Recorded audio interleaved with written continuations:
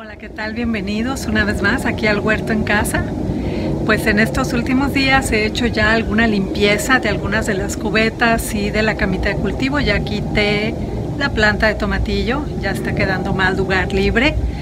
Y este te voy a mostrar aquí eh, las cosas que hice en estos días pasados, porque hoy vamos a platicar sobre el otoño y el invierno. Llegó la hora de sembrar nuestras semillas para la siguiente temporada. Sí, así con este calor. Y ahorita te voy a explicar por qué. Entonces vamos a ver. Ok, pues aquí está la cama de cultivo, ya sin la planta de tomatillo. Sí, aquí ya brotó uno de los pepinos que sembré, unas semillitas, ya brotó una, con la intención de ver si logramos tener otra planta de pepino por los siguientes dos meses, ¿no? Vamos a ver cómo nos va. Esta planta pues ha seguido, gracias a Dios, funcionando bien, aunque ya no ha crecido mucho. Y ahí tiene un pepino, lo vamos a cosechar. Mira, tiene tres. Sí, parece que los tres están polinizados. Entonces pues me voy a llevar este que ya, ya está listo. Se cayó solito. Y estos dos los vamos a dejar crecer.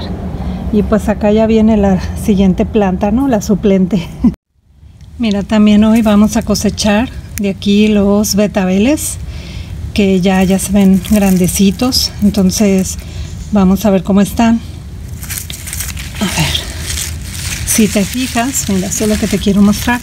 Están tres betabeles juntos, prácticamente. Aquí hay uno, aquí está otro y aquí está otro. ¿Sí? La semilla de betabel a veces así te va a producir este dos, tres, cuatro plantitas, por lo general tres.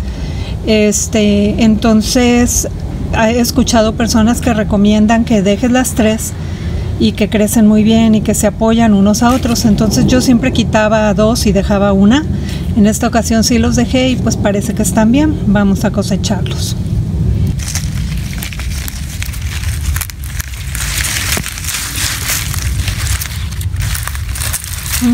Mira, son, son cuatro.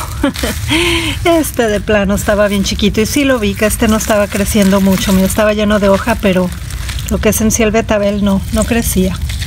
Uy, mira, ya que había otro chiquito. Que tampoco, mira, ya estaba haciendo larguito nada más.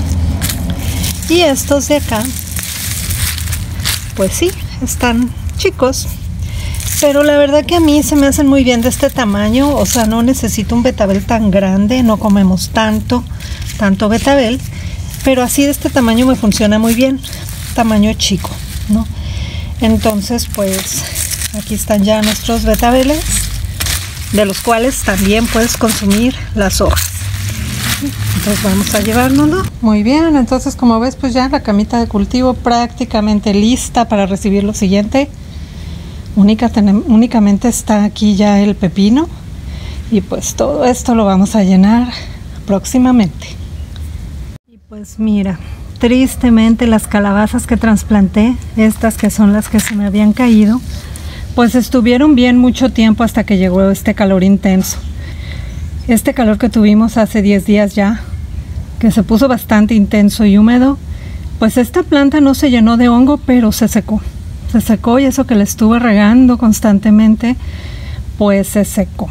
Entonces, tristemente, pues sí tenemos aquí tres calabacitas, pero están muy, muy chiquitas. Sí era una calabaza pequeña, pero era pues más o menos así, ¿no? No tan chiquitas como estas, que parecen naranjas casi, casi. Entonces, pues están muy bonitas y aquí están, pero tuvimos tres pero pues tristemente no, no tuvimos la planta con la calabaza más grande. La estoy cuidando porque no se ha secado del todo. Mira, aquí se ve todavía viva la planta. Pues a ver si agarra fuerza, si agarra una segunda vida y nos da otra calabacita, ¿no? Pero pues por lo pronto parece que no, que no tuvimos éxito este año. Y pues ya mira, las cubetas donde estaban las calabazas, que hace 10 días más o menos te las mostré, que estaban muy bien las plantas, muy sanas. Bueno, pues aquí te voy a mostrar cómo se veían ya las calabazas. Em, simplemente eh, como a los dos días de que subí ese video, el clima cambió, se volvió muy húmedo, un clima que se le dice monzónico. Y pues sí, eh, tuvimos aproximadamente 10 días con, con, los días húmedos. Inmediatamente las plantas se llenaron de hongo. ¿sí? Este, estaban infestadas totalmente de hongo, pero no solo de hongo nada más, sino también ya otra vez lo del gusanito minador y todo, entonces pues ya, ya este, las quité y pues como vas a ver voy a cosechar una calabaza que tenían cada una de las plantas que quité y pues ya dejamos este espacio pues ya se quedó libre únicamente con los marigolds o, tajetes no este esta de acá también. Allí en esa caja voy a sembrar la otra eh, planta de coles de Bruselas, que ya está lista porque no he ido a, a comprar otra maceta, así que como esta ya se quedó libre, pues aquí la voy a poner. Y aquí está el chilito que planté ese día, pues viene muy bien, viene creciendo, ¿sí? no, no le afectó el trasplante, pues entonces vamos a ver si logramos que crezca como este, que este pues es el cayenne y mira, está muy bien esta planta otra cosa que te voy a mostrar son los ajos. Sí, ya quité los ajos que estaban ahí porque se secaron todos, se dobló todo lo que es el, tallo. En algunos casos el tallo se cayó de tan seco que estaba que ya no tenía ningún caso dejarlos ahí, ya no iban a crecer más. Entonces, pues aquí están. Aquí están, mira. ¿Sí? Pues, ¿qué te puedo decir? este está medio rarito, hasta ya tenía un ajo por fuera. Estos están más o menos, ¿no? Lo que me gusta es que el dientito se, se, distingue muy bien a través de la cascarita, sí, están muy bien separaditos y están grandes, no están pequeños, sí. Pues me hubiera gustado que crecieran más, pero pues no me fue tan mal, ¿no? y pues ya viene otra vez la nueva temporada, voy a tener que volver a sembrar, pero pues digamos que tuvimos un éxito mediano, como por lo general te cuento que me pasa con los ajos, Este, de hecho hubo unos que hasta se les cayó el tallo, mira, y pues ya estaban abriéndose y separándose, me, pasé, ¿no? De tiempo. Y pues también hace, hace como un mes un poquito más ya terminé de, de lavar los almácigos que tenía por aquí y por allá, que con un chilito, que con algunas semillas que no brotaban, a ver si brotaban, etcétera, que se me fueron quedando retrasados y pues ya lavé todo, ¿sí? Por lo general lo que hago es que los, los pongo en una cubeta o en un balde con agua, con jabón y vinagre, los dejo remojar toda la noche y al día siguiente ya los lavo y los pongo a secar. Y este y pues ya están listos para esta siguiente temporada que vamos a tener este de pues ya de, de otoño invierno no oficialmente nos queda todavía un mes de verano sí entonces eh, hace mucho calor todavía. Y por lo general eh, yo me esperaba a que empezara a refrescar para sembrar las cosas de otoño. Pero eso ha sido un error mío porque cuando se viene el cambio en el equinoccio de otoño, que de hecho ya ahorita ya se siente, este, es inmediato cómo se siente ya el cambio y luego no sé si por el hecho de tener el huerto se vuelve uno más eh, perceptivo de estas cosas, pero eh, el solsticio de verano eh, es el día más largo del año y a partir del siguiente día empiezan a ser más cortos. Entonces, obviamente la Tierra, pues el eje de la Tierra empieza a cambiar un poco, la luz del Sol ya empieza como a dar de distinta manera en, el patio, ¿no? Y en mi casa y en todos lados, no, pero digo, yo en mi patio lo percibo muy claramente. Y, y como te he comentado, pues cuando ya estamos totalmente en lo que es temporada otoño-invierno, la mitad del patio no recibe luz del sol. De hecho, aquí la camita de cultivo ya no le da directamente luz del sol, Sí, entonces ya es que te comento que siempre hago todo para allá, para que les dé sol, ¿verdad? Este, entonces es por eso que es importante empezar a sembrar ahorita, a mediados de agosto, porque aunque van a ser para cosecha en otoño y en invierno, requieren luz solar. Entonces cuando viene este cambio del equinoccio de otoño, eh, los días cada vez van siendo más, más cortitos y nosotros tenemos el cambio de hora, ¿no? Este, pues, dice que para ahorrar energía, etcétera. Eh, nosotros tenemos estos cambios de horario dos veces al año. Entonces, los días son muy cortos. Em, en su punto más corto, eh, los días cuatro y media de la tarde, ya se metió el sol, cuando están los días ya muy cortos. Y em, a partir del solsticio de invierno, pues empiezan nuevamente los días a hacerse más largos, ¿no?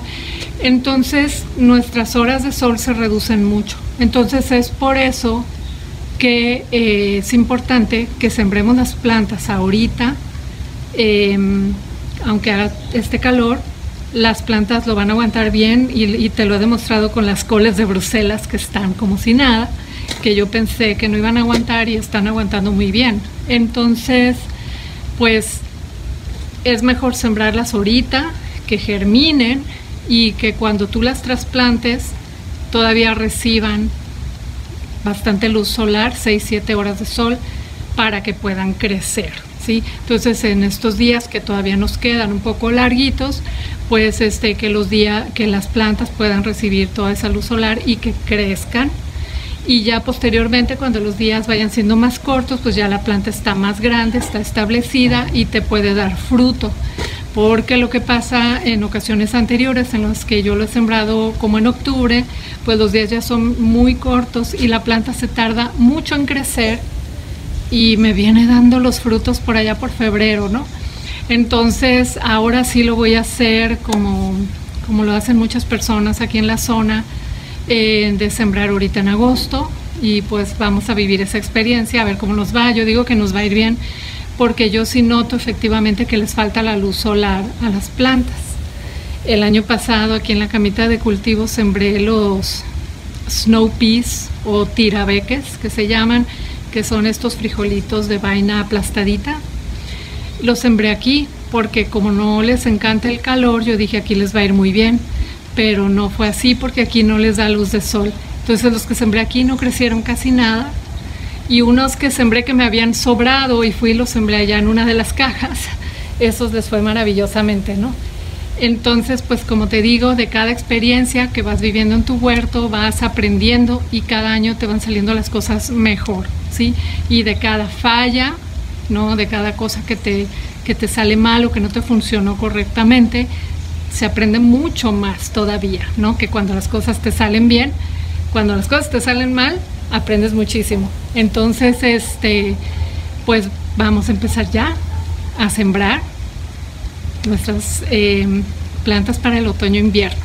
Te voy a decir que yo creo que para nosotros aquí, este, en el norte de México, em, y en su punto más al norte, que es Tijuana, este, yo creo que es nuestra mejor época, es una época de de clima muy agradable, otoño-invierno, que no tienes plagas casi en el huerto, que no hace tanto frío como para que se te mueran las plantas, ¿no? Y que, es un clima pues bastante tolerable. Sí hace frío y hay ocasiones que hace mucho frío, pero pues no, no llegamos a otros niveles de como en los lugares que neva, cosas así, entonces se me hace a mí que es una muy buena época, una época que te va muy bien en el huerto, que, no estás batallando con tantas plagas, etcétera. Y entonces, pues vamos a ver cómo nos va este año, que nos tiene preparado de sorpresa el cambio climático, ¿no? Entonces, pues, ¿qué vamos a sembrar para otoño-invierno? Pues por lo general, este, se siembra todo lo que es de hoja. Sí, aquí yo ya separé todas mis semillitas de para esta temporada. Entonces vamos a sembrar lechugas de varios tipos de lechuga, nada más para tener variedad, pero si tú quieres puedes sembrar uno solo, ¿no? Pero a mí me gusta como que tener variedad de lechugas. Están de este lado. Entonces, este, todo lo que son lechuga iceberg, lechugas de, que parecen como una flor, como que son las que siembro yo casi siempre. Lechuga orejona, lechuga romana, lechugas rojas, lechugas pintitas, las que tú quieras. Escarola también, que me fue muy bien con la escarola el año pasado. Arúgula voy a sembrar, lechuga hoja de nano, lechuga orejona, ¿sí? Y este, todo tipo de lechugas que quieras. Este, también esta es la época en la que se siembran aquí en nuestra zona, ¿ok? Aquí en esta zona que somos la zona, eh, de acuerdo al, mapa de climas y regiones de Estados Unidos, al USDA, nosotros seríamos la zona 9, 10, tal vez 11, ¿sí? Entonces aquí este, sembraríamos todas las crucíferas o brásicas, ¿sí? Brócolis, coliflor, este, el colinabo que me encanta a mí, em, coliflor, pues las coles de Bruselas, que ahorita yo ya me adelanté sin querer queriendo, este, el, los kales, el kale que te guste a ti, ahorita en otoño invierno es cuando el kale está en su mejor momento, eh, las hojas están muy muy vivas, muy sanas, muy crujientes, ¿no? Porque no están batallando con el calor ni nada. Este, entonces es en esta época en la que se recomienda la siembra de las crucíferas aquí en esta zona, ¿sí? Este, también el cilantro, que el cilantro es otra planta que no le gusta el calor, pero ni poquito, ¿sí? Entonces el cilantro en, las épocas de otoño-invierno tal vez más en invierno, porque aquí como te digo el otoño lo perdimos, quién sabe a dónde se fue. Entonces casi siempre del primer verano nos vamos al segundo verano y luego al invierno, ¿no? Entonces este, el otoño por ahí quedó perdido. ¿Qué, más puedes sembrar en, en esta etapa? Pues también las cebollas de todo tipo, cebolla amarilla, cebolla morada o cebolla blanca. También es muy buen momento para sembrarlas. Este, ¿qué más tengo por aquí? A los betabeles, ¿sí? El betabel rojo el betabel naranja, el que sea de tu preferencia. También el nabo, el nabo es buen momento para sembrarlo. La este, acelga, ¿sí? Que aquí tengo yo unas semillitas de acelgas de colores. Este, vamos a ver cómo nos va con ellas. Eh, ¿Qué más? a mí me gusta mucho una selga china que se llama Tat Soy. Este, el año pasado me fue mal con ellas, no, no salió. Entonces este año lo voy a volver a intentar. ¿Qué más?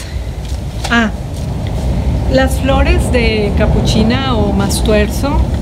Eh, yo, he yo vi el año pasado que la época fresca creció, pues ya lo viste en mis videos, ¿no? Mientras no teníamos calor, la planta estaba, pero qué, qué bárbaro, dominando aquí todo el huerto, ¿no? Entonces, pues voy a volver a sembrar de estas.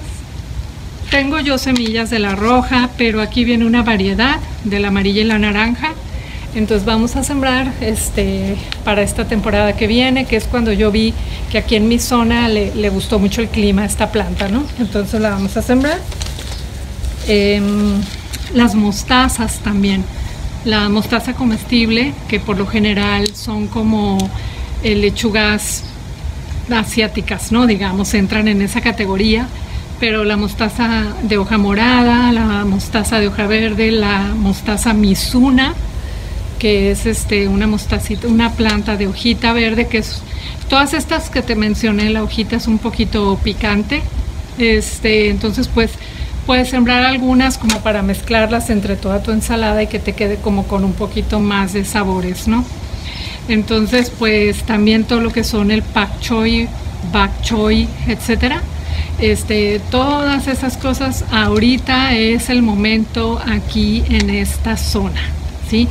El resto de México, este, más al sur, es diferente porque ellos, este, depende, ¿no? A la altura donde estén, pues puede ser que sea más fría que, nosotros, ¿no?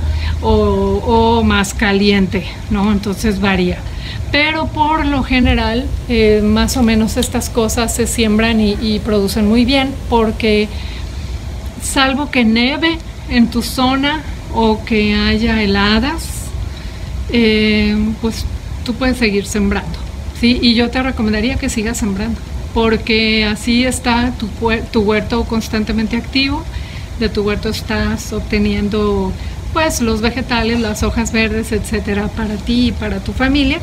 Y, em, y, pues al mismo tiempo pues sigues aprendiendo y sigues cosechando y se sigue viendo verde tu huerto, ¿sí? Lo único que hay que hacer es cambiar de plantas. Casi siempre lo que es otoño-invierno pues predomina lo que son las hojas y las raíces, ¿no? Entonces pues ya ahí dentro del, del grupo de las hojas pues ya hay una gran variedad de lechugas, mostazas, este, acelgas, kales, que hay de muchos tipos, este, ¿qué más? Kale, el kale o versa, que también le dicen, ¿no? Este, em, el que quieras, del, que te guste, del que consigas semilla, del que quieras, a todos les va mejor en otoño e invierno, aquí en mi, en mi zona. Y em, pues prácticamente esas son las cosas que yo sembraría, además de las cebollas, que es muy buen momento para sembrar cebollas, también zanahorias, ¿sí? Entonces, pues vamos a seguir adelante y pues ya preparados con todas nuestras herramientas porque llegó la hora de sembrar para nuestro huerto otoño-invierno. Y hay que aprovechar los días largos de sol que todavía vamos a tener para que podamos tener éxito y fruto más pronto en nuestro huerto de otoño-invierno. Nos vemos en el siguiente video. Cuéntame aquí en los comentarios eh, qué, te gustaría sembrar, con qué quieres experimentar, qué es lo que vas a hacer para esta siguiente temporada. Nos vemos el siguiente video. Manos a la tierra.